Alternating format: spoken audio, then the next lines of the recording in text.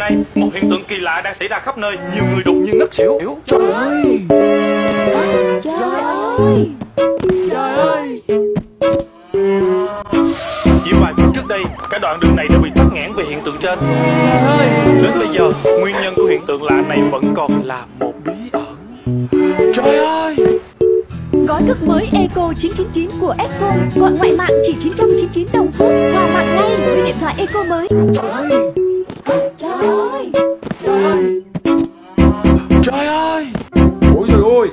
Yeah.